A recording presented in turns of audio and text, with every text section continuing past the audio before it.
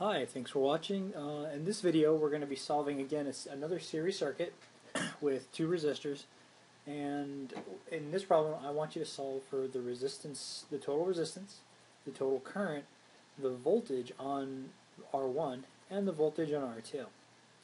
So uh, to start off we want to solve for the total resistance. So how do we solve for RT? So RT this is equal to the sum of the resistors. And when you have resistors that are in series, they're just, they sum together. So R1 plus R2, and that's how you're going to solve it. That's going to be equal to RT. And this is equal to 10K plus 10K, or 10 kiloohms, which is equal to 20 kiloohms. That is equal to the total resistance. Now with that, now we need to solve for the total current. Now since I know what the voltage is, what the, what the voltage from the supply is from here to here, yeah, that this whole voltage all the way across from here to here is going to be the same. So the voltage here to here is the same as the sum of the voltage from here to here, which this is this is VR1, and then VR2 is going to be well, from here to here. So all this area in here is, is uh, VR2. So if you add VR1 and VR2, you're going to get the same thing as, as the voltage, as the 20 volts here. So the current, the total current, is going to be equal to the voltage, the total voltage, um, which is, well, I'm just going to call it the voltage of the supply because that's really what it is. This is the power supply right here. Uh, and so the voltage of the power supply divided by the total resistance. And that's going to be equal to the total current. So the voltage of the supply is 20 volts. And it's going to be divided by the 20 kiloohms.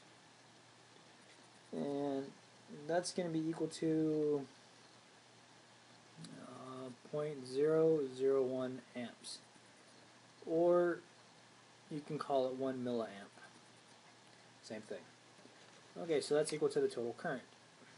So the total current is equal to 20, oh shoot, no, not 20, sorry. Uh, no, not 20. Hmm. Yeah, no, the, the sorry about that. The total current is equal to 1 milliamp. And bring it forward there. Okay, so now that we solve for that, now we need to solve for the individual voltages. So now that uh, if you know the total current, the current that's flowing through this whole circuit, it's always going to be the same current. So the current going through here is exactly the same as the current going through here, through R2. So if I want to know this voltage, I just need a slightly different formula, which is just a reworking of this formula of the current is equal to the voltage divided by the resistance. So VR VR1 is equal to the total current times R1. And the total current is 1 milliamp times, uh, was R1? Uh, 10 kiloohms. And that's going to give you a total of 10 volts. Now let's solve for the voltage on the second resistor, VR2. Now that's going to be equal to, again, you're going to multiply it by the total current. Now it's times the second resistor. And it's 1 milliamp times 10 kiloohms. So again, you're going to get 10 volts. Uh, and you know, that, that makes sense because the voltage, oops. So the, the voltage of the supply, which is equal to the total voltage of this whole circuit, is equal to the voltage of VR1 plus the voltage on VR2. And since the voltage of the supply is 20 volts, and this one's 10 plus 10, it checks out. Uh, and that makes, let's, let's give you another view of it too. Because if you notice, this is, has the exact same resistance as this one. So this one is just going to take, it's going to drop half of the voltage off of the power supply. And this one's going to take the other half. So that's one way to think about it. Now let's make a second problem. Now in this problem, uh, we're going to solve it again uh, the same way. It's just with different uh, different resistances. So the voltage of the power supply in this one is equal to 20 volts. And I'm going to make it easier myself. I'm going to draw this type of power supply. It's exactly the same type of power supply. It's just another way to draw it. No difference in the previous one.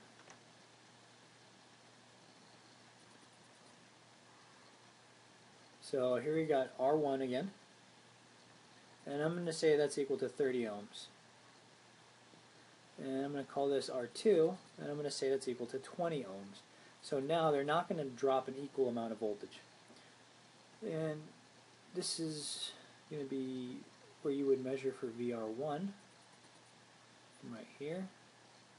And if I wanted to measure from VR2, I would stick my probes one here and one here. It's going to be VR2. So in this problem, again, we want to solve for the total resistance, the current, well, the total current, well, no, it's not equal to that, uh, then the voltage of VR1 and the voltage of VR2. So that's what we're doing here. So first off, let's solve for the total resistance. So the total resistance, again, we're going to get, since it's additive, uh, R1 plus R2, that's how you're going to solve. That's how you're going to do it. And this is only true because it's in series. If this was parallel, you wouldn't do this, but that's that's for a future video. So this is equal to 30, 30 ohms plus 20 ohms. So you have a total of 50 ohms uh, for the entire resistance. Now that we solved for that, let's solve for the current.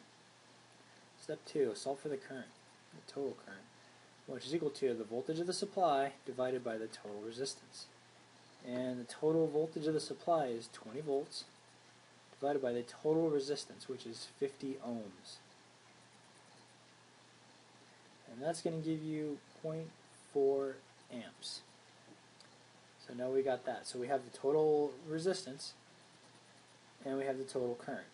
So now we can we can actually use the total current, which just runs right through here, to solve for this voltage and then for this one. And you just do that with the reworking of the formula. So third, let's solve for VR1, which is going to be equal to the total current times the resistance of the first resistor. And that's going to be equal to uh, 0.4 times the 30 ohms. And that's going to give you 12 volts. So that's VR1, 12 volts. And now let's solve for the second resistance, VR2. And that's going to, we're going to do the same process all over again. We're going to multiply the total current by the resistance of resistor 2. And that's going to be equal to 0.4 times the 20 ohms. That's going to be equal to 8 volts. So VR2. And that one makes sense because uh, if you, you add VR1 and VR2, you're going to get 20 volts. Now, you didn't actually have to go through this whole step, or I didn't have to, to in order to get VR2. Um, I just did it to show you that it's exactly the same. Uh, you could have actually just uh, shortened this out by saying that you know that the voltage of the supply is equal to VR1 plus VR2. Now from this you could have just used the algebra and just said, okay, well I know what this voltage is because you just solved for that one. And you, this one was given to you. So you could have just said VR2 is equal to the voltage of the supply minus VR1, which is 20 minus 12 equal to 8 volts. And that would have been another way you could have solved for it. It's just, you know, uh, after you've done a few of these, you can see those little tricks, and, and they'll become pretty obvious to you. But when you're first starting out, you know, it's kind of kind of tricky. So now, uh, in the other problems, I've been pretty. I've been giving you the voltage of the supply. In this one, we're going to make it a little different. I'm not going to give you the voltage of the supply. So here, here's the the supply, the power supply's voltage. But we don't know what it is. But we do happen to know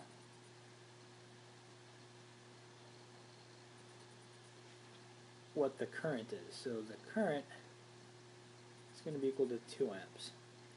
It's going to go around like that. and this is going to be R1, that's equal to 45 ohms, and this is R2, that's going to be equal to 15 ohms. And so for this one, uh, again, I want to solve for, I want to know what the voltage on this guy is, and I want to know what the voltage on this one is. So this is VR2, and this is VR1.